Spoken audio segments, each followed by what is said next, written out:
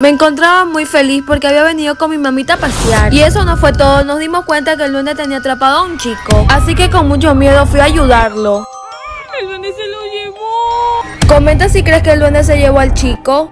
Hoy estaba muy feliz, pero vi como unos animalitos se estaban moviendo. Así que decidí comerles un poquito de comida para que se puedan alimentar. Y ellos estaban muy felices. Like para parte 2. Este chico andaba muy feliz y de pronto se dio cuenta como el duende lo estaba llamando. Y así fue, el señor le decía que el duende lo había atrapado. Pero ellos tenían mucho miedo porque el duende andaba cerca. Así que el chico fue a pedir ayuda. Comenta si crees que el duende se quiere llevar al señor. La cueva donde se escondía el león y mira lo que pasó. Estos señores habían salido a caminar y de pronto... Papá, por aquí ha un león, ¿sabes? Así que habían escuchado el rugido del león. Así que tenían mucho miedo porque el león andaba por este lugar. ¡Papá, ahí está! Comenta si crees que el león se comerá a estas personas. Vendo globos, vendo globos. Oye, señor, ¿usted me puede regalar un globo? Es que no tengo plata. No, no, no, no. Tienes que pagarme, si no, no te vendo nada. Ahorita le voy a decir a mi papá que es policía. Comenta si tú le regalarías un globo a la niña. Hoy mientras me divertía noté que algo se escondía entre los arbustos. Así que fui a investigar y de repente me di cuenta que era el duende que se estaba escondiendo. Te cuento qué pasó con el duende en la siguiente parte.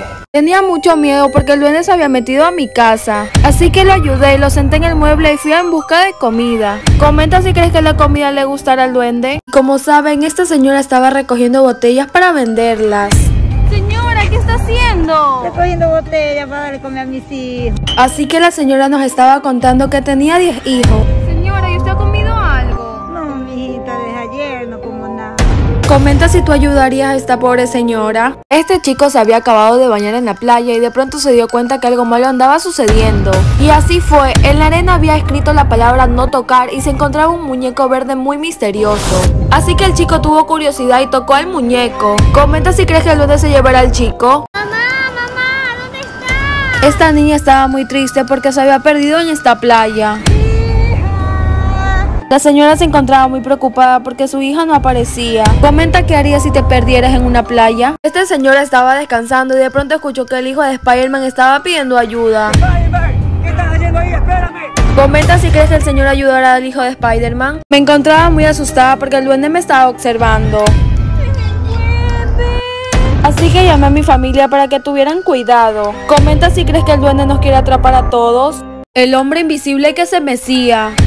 Esa persona que se está meciendo. Y de pronto pasó esto. Tía, desapareció. Comenta si tú has visto un hombre invisible.